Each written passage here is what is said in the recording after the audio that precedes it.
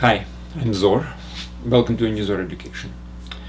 Um, today I would like to continue talking about oscillations, but in this particular case um, uh, it's not the same kind of oscillation which we were talking about in the previous lecture. The previous lecture was about um, reciprocal movement, like on the spring for instance, you have a, an object at the end of the spring and it's going back and forth along straight line. Today we will talk about oscillations which are related to rotation. Um, so the lecture is called rotational oscillations. Sometimes it's called torsional. Uh, it comes with the word torque, which is very important for rotation. Um, now this lecture is part of the course called Physics for Teens it's presented on unizor.com, this is the website. Um, there is a prerequisite course called Math for Teens, uh, and whatever information is there is definitely a prerequisite for physics. You have to know math before you attempt physics. Like for instance, in this particular case, um, we will talk about uh, differential equations, which is part of the calculus presented in the Math for Teens course. So, um, now the website is completely free. Unizor.com has no strings attached. There are no ads, uh, so there is absolutely no financial uh, transactions which are basically result in going into this website. Complete, completely free knowledge in its purest form. So I encourage you to use the website um, to watch this lecture um, because the website contains also very detailed notes for every lecture. It also contains certain problems, exams, um, and there are some other functionalities which are related to uh, basically registering, but you don't have to register if you just want to listen to the, uh, to the lectures. Um, registration might be needed if you would like to get engaged into supervised education. Then there is some kind of a supervisor or a parent. Um, and then there are students which he is responsible for, etc. That's a separate issue. In any case, all is free. So, rotational or torsional oscillations. Well, first of all, a couple of examples.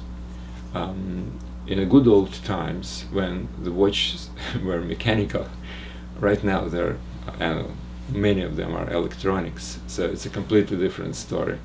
But in the mechanical world, um, the hand watch had something which was called um, a, a, balance wheel. It goes this and this, like this.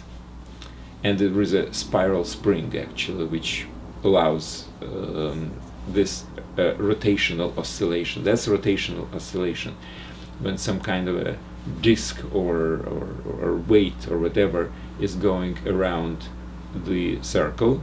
That's what makes it rotational, and it goes back and forth. It goes this way along along the circle, and then another way along the circle. That's what makes it oscillating. So that's what oscillations comes from. Rotational oscillations. It's rotating, and it's rotating in both directions um, alternatively. Okay, I will talk about a little bit more, mm, I would say, simple case. Uh, as an example, my simple case is uh, some kind of a wire, let's say it's a steel wire, and there is a rod. Uh, so we'll consider the rod to be um, uh, weightless and there are two weights here of mass m. Now there is a really a good connection here, a rigid connection. Now um, it doesn't really matter whether we are talking about uh, this particular wire to be like vertical in the gravitation field. Doesn't really matter. Consider it's in a spaceship. Um, so my only point in this case is this is a straight wire, let's say it's a steel wire, and then what you can do, you can actually wind this particular rod around which twists the wire.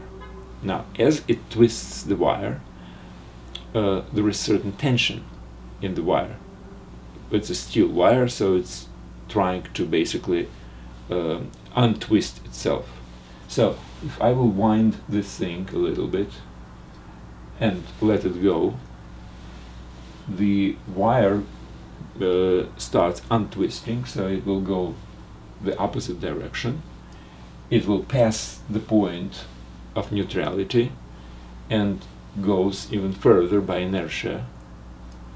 Same thing as with a spring. Spring goes back and forth. Uh, it's reciprocal movement. This goes around this way or around that way.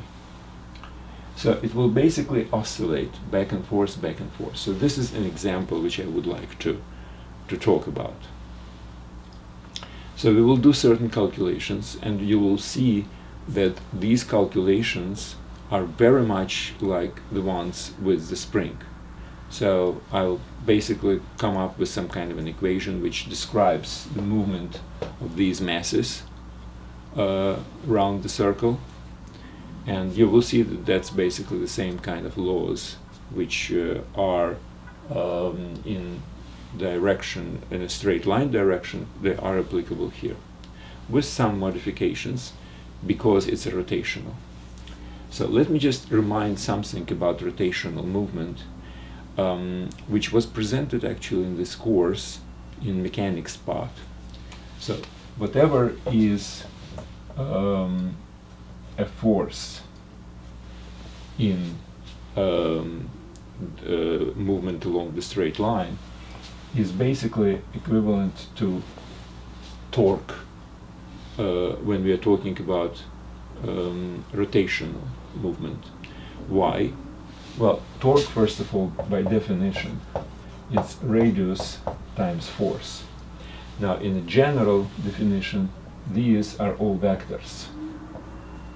But in cases which we are considering, we are considering the force always being perpendicular to the radius, in which case the vector product, which is supposed to be, you know, this is usually the sign for vector product.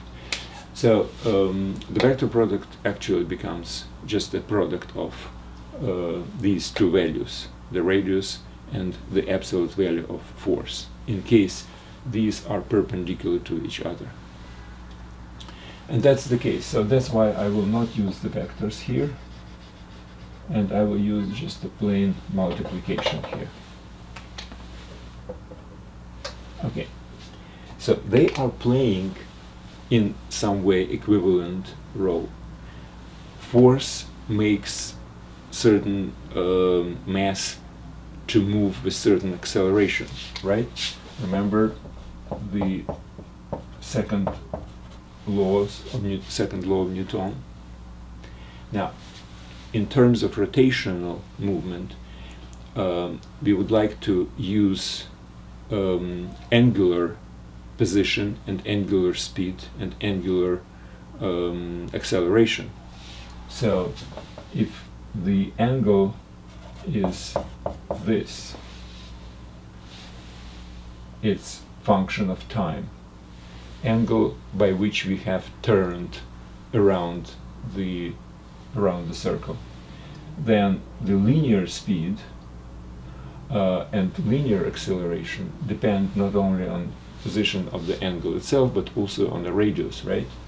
So what A, A is? A is second derivative of position and speed is the first derivative of position. In this case, instead of position along the straight line of certain point, we have an angle which start at certain uh, fixed location, the angle by which we have turned. And now we have uh, if, if you would like, we can obvious, obviously uh, check this length. The length is equal to um, radius times angle. And the linear speed is the first derivative of this. And the acceleration, linear acceleration, is corresponding with this. Right? We're just differentiating this. So the part is basically our um, angular speed, angular speed, and this is angular acceleration. So we will use a here and we will not use phi, uh, the first derivative at all. So I would like to have something like this in terms of um, torque and uh, mass, obviously, and uh, angular acceleration rather than linear acceleration. Now, how can I do it? Well, uh, I will start from this, since f is equal to a, uh, well, mass first. Mass times a, right? Now, instead of f, I would like to have torque. So it's r times now instead of A, I would like to have this. I will use this alpha. So what do we have? This is torque. So torque is equal to m um, r square, right? Uh, m times a. A is r right one second. So it's ma times r. Okay so it's this r and this r. So it's r square times uh, acceleration alpha so in terms this is i called moment of inertia. So in terms of um, torque and moment of inertia and acceleration, this is formula which is basically equivalent to the second Newton's law for rotational movement. So instead of mass, we should use uh, moment of inertia. Instead of linear acceleration, we are using angular acceleration. And instead of force, we are using torque. So this is equivalent in a rotational. I just derived it basically. This is the same thing as I did during uh, some lecture about rotational movement in mechanics. So I will use this equivalent to the Newton's law. Um, torque is equal to moment of inertia times alpha.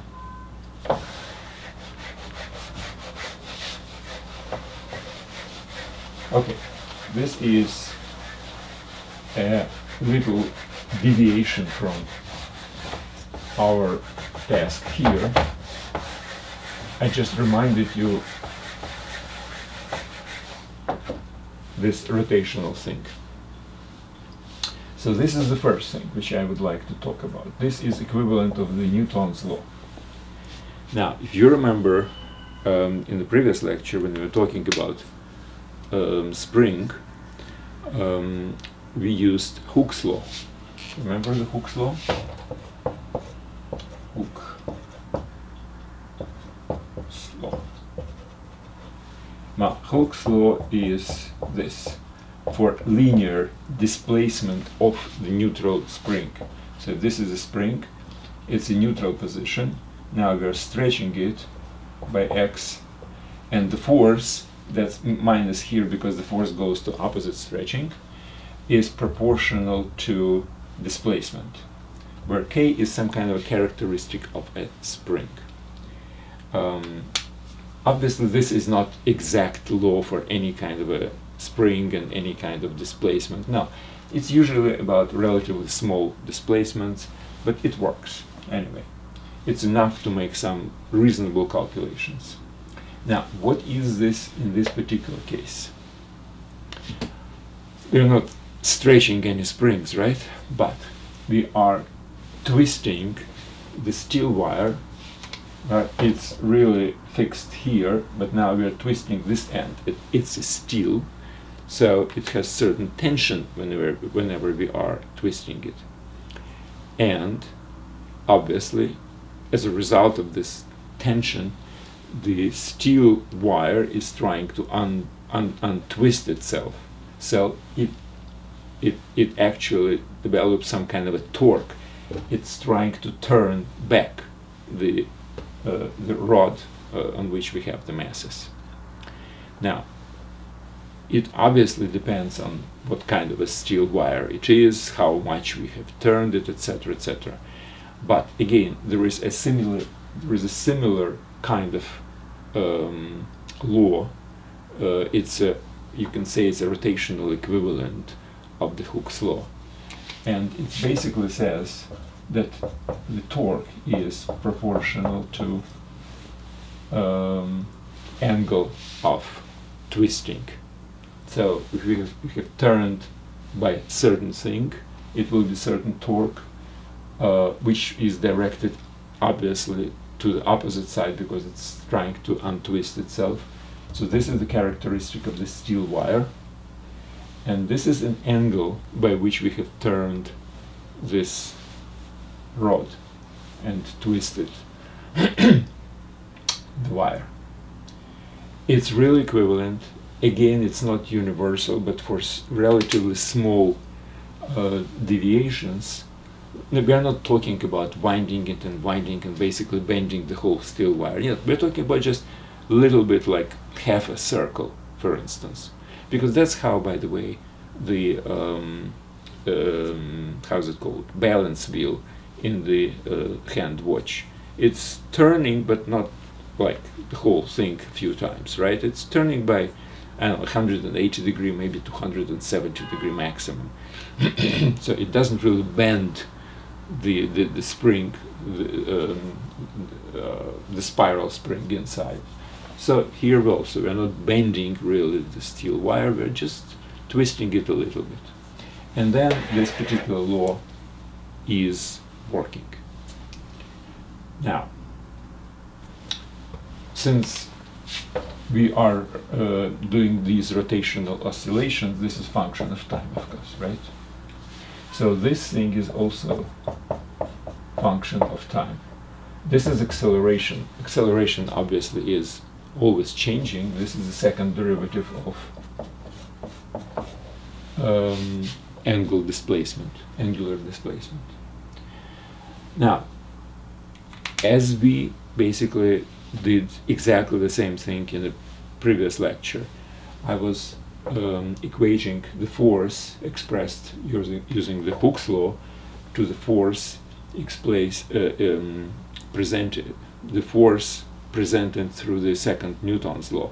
I basically equated them and that's how I got the differential equation. Here I have exactly the same thing. This is a torque and its expression as um, uh, in terms of um,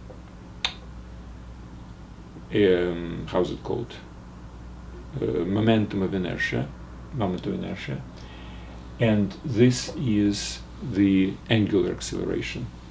The same torque is expressed in terms of qualities of this wire and again angular um, displacement. So we can just equate them and have the differential equation which describes movement of angular movement of this rod. Now, uh, in this particular case, let's do it this way. Now, this is exactly the same differential equation as we had in the previous lecture for a spring. But for the spring, instead of uh, moment of inertia, we had mass, and instead of angular displacement, we had linear displacement. Basically, solution is, from the mathematical standpoint, is exactly the same, and I will use the same approach. Basically, I have to have some kind of initial condition. Now, initial condition is that my initial turn of this rod by angle phi at time zero is something. I use it gamma as an angle. And let's say that I just turn it by this particular angle gamma and left alone, which means I did not push it in any di di direction, so the first derivative is equal to zero. Now, the second derivative obviously is depending on the torque, etc., etc. So these are initial conditions. And using these initial conditions, I will just do exactly the same as in the previous uh, lecture. I derived basically the, uh, the function which satisfies this differential equation and these initial conditions. So I'll use basically the same function. I'll just write it in different. there are different letters involved here, but it's exactly the same differential equation. So my uh, function phi of t is equal to gamma cosine square root of k divided by i times t. So, in, again, in the previous lecture, we had initial linear displacement a, displacement a, and that coefficient was a, and uh, instead of um, moment of inertia, we had mass, so that was k divided by m. So the function is exactly the same, just different letters here.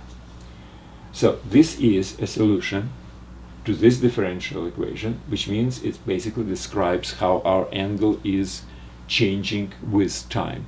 At t is equal to 0, we have cosine of 0, it's therefore uh, the cosine of 0 is 1, so times gamma is gamma, so the, in the beginning. Now the first derivative from cosine is a sine with a minus sign with some coefficients, and that's why if you put t is equal to 0, sine of 0 is 0, so you will have 0, so it satisfies uh, the initial conditions. And basically what we're saying is this angle is uh, changing from basically from now cosine is changing from minus 1 to 1 so this angle is changing from minus gamma to gamma. So it goes to gamma this way and then gamma that way to the opposite direction plus minus plus minus and that's how the whole thing is rotating on this particular wire and uh, two very important characteristics are um, the period.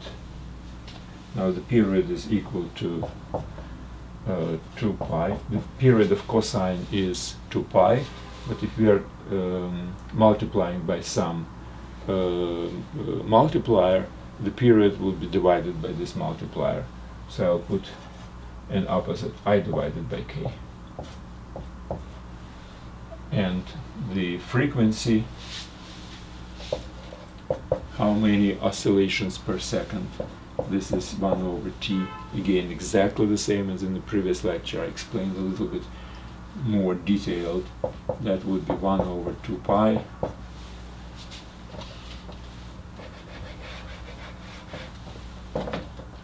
uh, square root of uh, k over i So K is a characteristic of the spring, uh, not a spring, a steel wire. That's basically uh, the same kind of characteristic as in a spring uh, in a previous lecture. It's elasticity, um, how springy or how steely this particular wire is. Uh, and I is moment of inertia. So basically that's it and it will uh, start oscillating back and forth all the time. Obviously, we are talking about ideal case when there is no friction, etc., etc. Now, one very interesting observation I would like to make. The period, the period and the frequency obviously they are very similar to each other. There is no gamma here. What does it mean? It means that no matter what my initial turn of the rod around this wire is the period will be the same. If I will turn it a little bit the torque will not be very strong right? And therefore it will be slower.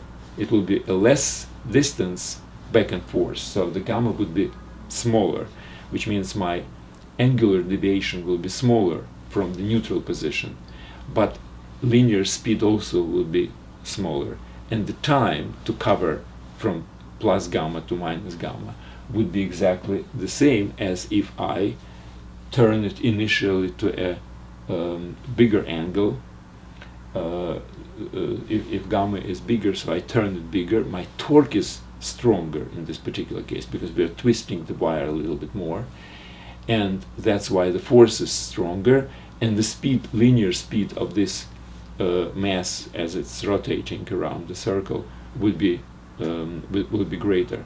But the time will be exactly the same. So no matter how strongly I wind it in the beginning the time, the period of rotating would be the same and frequency will be the same number of um, oscillations per second. It's a very important observation and that's why actually um, the uh, this type of movement is used in mechanical watches because no matter how strong um, our initial turn is my um, my my wheel, my balance wheel inside the watch will have exactly the same frequency of oscillations, and as the spring unwinding and the force actually becomes weaker, maybe we are not actually turning all the way to the maximum. So, as as the spring unwinds itself. Um, it, it loses energy, right? So it doesn't really turn it all the way to the right and all the way to the left. Let's say it's half a way. But still, the period of oscillations will be the same, and that's very, very important for watch, because we have to have the same period to have the same uh, amount of time uh, which we are kind of measuring. Because with every movement of the wheel in one direction, it's some kind of a fraction of a second or a second or whatever. And it should be exactly the same if we would like our watch to be precise. So that's a very important. Okay, I do recommend you to go to the website unizor.com to get to the physics for teens. Uh, you just click on the course. Uh, there are some other courses like math for teens, and inside the physics you will have another menu. This belongs to the um, part called waves and uh, it's mechanical waves on the next menu and then you will find the rotational oscillations. So thank you very much and good luck.